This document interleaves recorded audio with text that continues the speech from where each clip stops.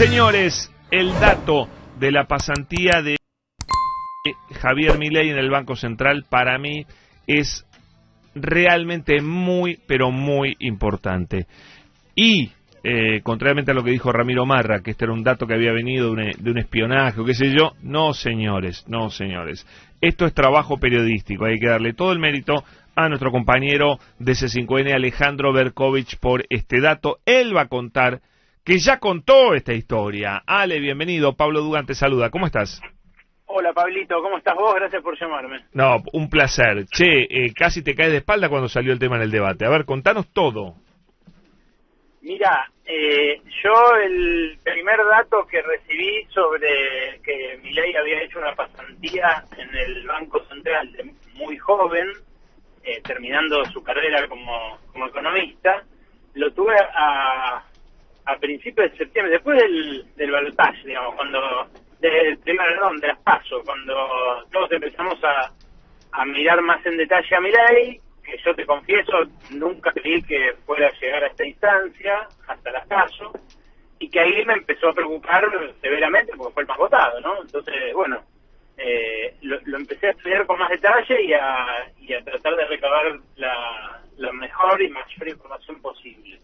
¿Pero esto surgió de un, un, dato que te pasa una fuente o vos preguntaste, che, sí, este Milei sí, tan una... obsesionado por el Banco Central no tendrá algo contra el banco, qué sé yo? No, no, no, no, no, vos sabés que, eh, nada, uno tiene fuentes que, que son a veces de, Muy de un gobierno, que llegan con un gobierno, ocupan un cargo público, están acá ya, pero después, eh, nada, los que venimos de gráfica sobre todo, tenemos lo que yo llamo fuentones, que son eh, gente que, que está de línea en determinadas reparticiones y que, que, bueno, piensa independientemente del gobierno de turno y, y, está muy alerta, pero además son los que mejor conocen los pasillos, ¿viste? Claro, por supuesto. Entonces, entonces eh, no, este, lo que pasa es que era una era tan disparatado para mí que mi ley hubiese trabajado en el Banco Central, siendo que todos los días hablaba del Banco Central, sí. de demolerlo, de prenderlo fuego.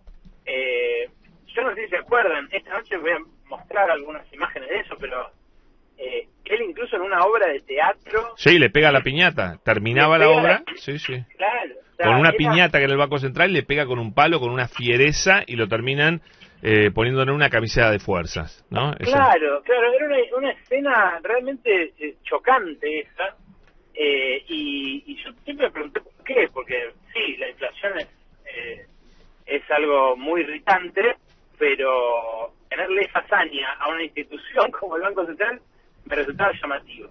Entonces, bueno, me llega este dato, eh, al principio, soy franco, creo de él, no lo no, no, no me pareció que fuera en serio, me pareció que era parte de la de esa, justamente de esa de eso que pasó después de las pasos de un montón de gente alarmándose diciendo che este tipo eh, puede ser presidente de verdad mira lo que está pasando bueno queda ahí.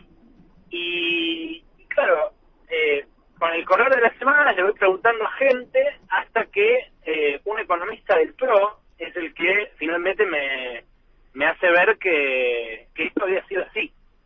Eh, ahí sí ya me lo empiezo a tomar más en serio y le pregunto a, a fuentes del Banco Central más encumbradas, los que están hoy, digamos, eh, como autoridades, me dicen que no saben ellos, porque había pasado hacía mucho tiempo, y entonces a chequearlo en la Comisión de Media Interna, en los en los laburantes eh, organizados de la bancaria, incluso me acuerdo que llegué incluso a preguntar a, a Palazzo, eh, él, bueno, me, me, contactó con la gente de la comisión interna del, del central, no había una confirmación lo suficientemente fuerte eh, como para darlo al aire hasta que a fines de septiembre justamente gremialistas que estaban en ese momento me terminan de confirmar que sí, que ellos mismos lo habían visto en persona, de chicos, de jóvenes, pues estamos hablando de hace 30 años, eh, y que en aquel momento todavía, eh, ya, ya en ese momento tenían un pelo llamativo. Eso fue lo que los... Lo que los Se acordaban por eso. Claro, lo que los hizo recordar.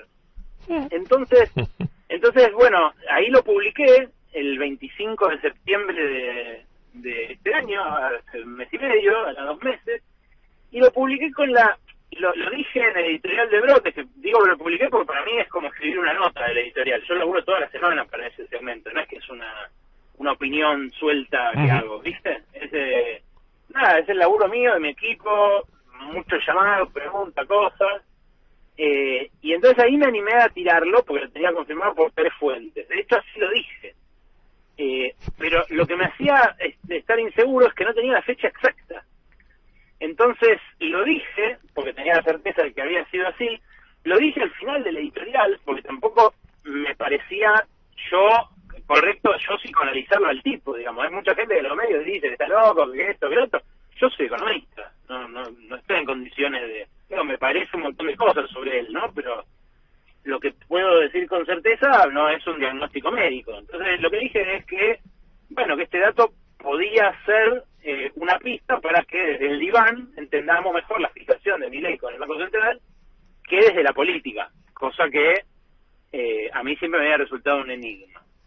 Después de publicado eso, me avivan que podía ser un pedido de, de acceso a la información pública. Claro, para tener el dato oficial ya para tener el dato oficial. Claro, yo pensé que iba a tardar muchísimo, pero no, a las tres, no sé, al mes, a, las tres horas, no, tampoco tanto.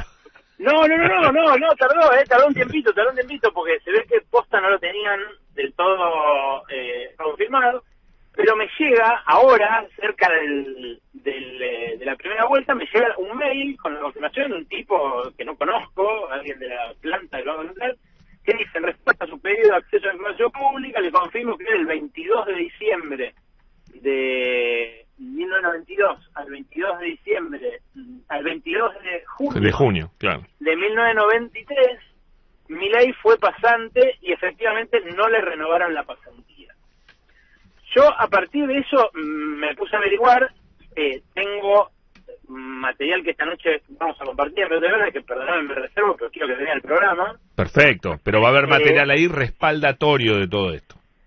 Sí, sí, sí, voy a mostrar este acceso eh, a, la información pública, que es un papel, que es un documento oficial, pero además voy a contar todo lo que recabé de por qué lo echaron. Bueno, ahí necesito necesito un adelanto, ¿vale? Porque acá todo el mundo dice, porque no pasó el psicotécnico, porque eh, él medio dio a entender que no había servido para el trabajo.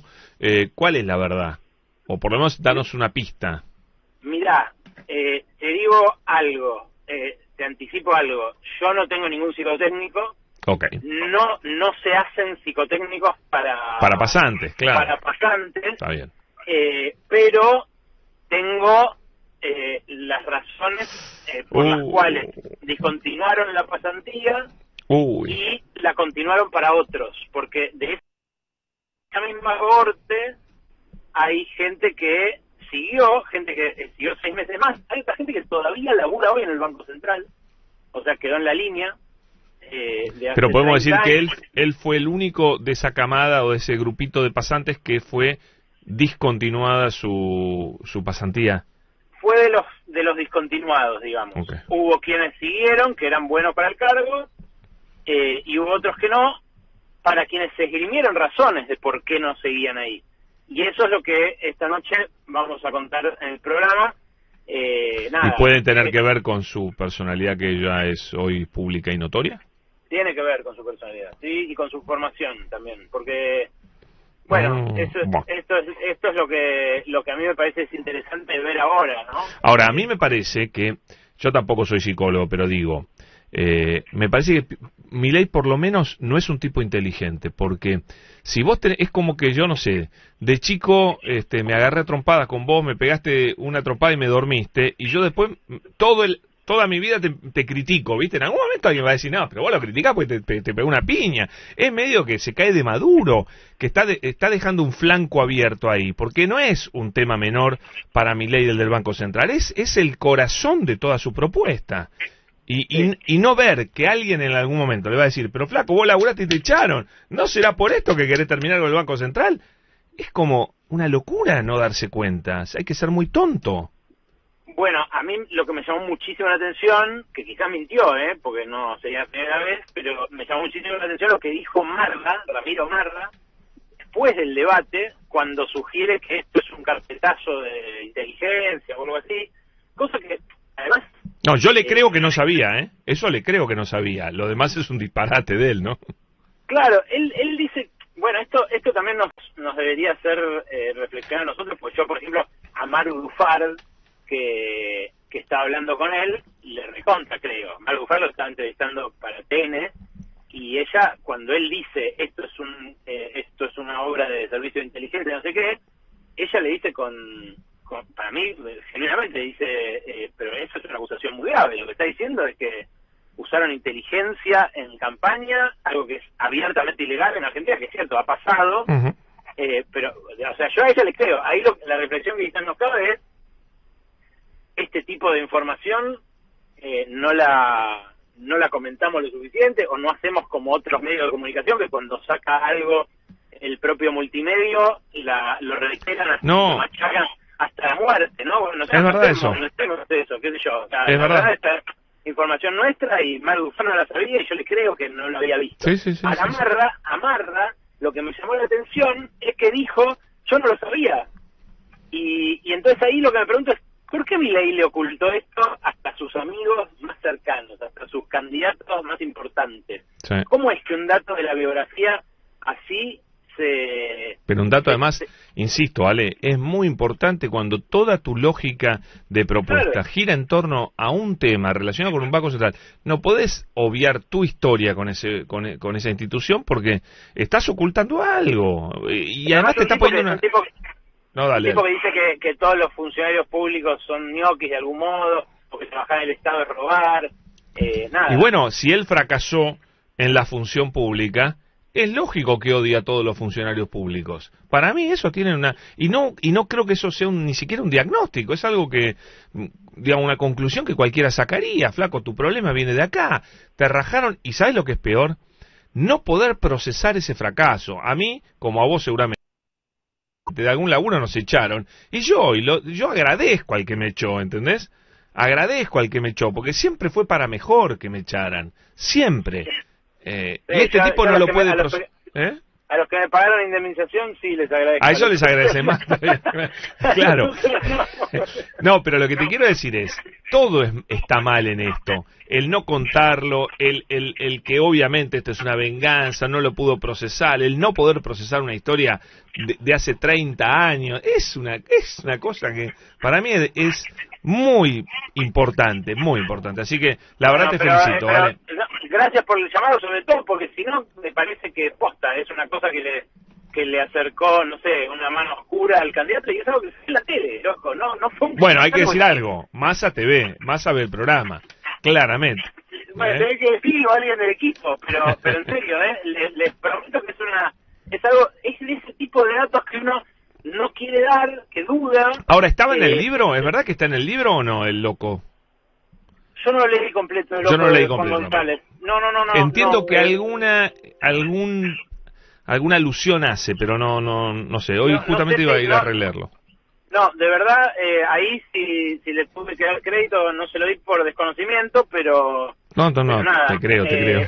pero, pero, a mí el dato me lleva por otro lado, y, y ya te digo, el laburo de reconstrucción te lo conté en detalle porque me parece que... No, está buenísimo. Está buenísimo. Está buenísimo. Bueno, más detalles, más detalles hoy 11 de la noche en Brotes Verdes por C5N va a estar apasionante. Ale, te felicito y te vemos nos vemos esta noche.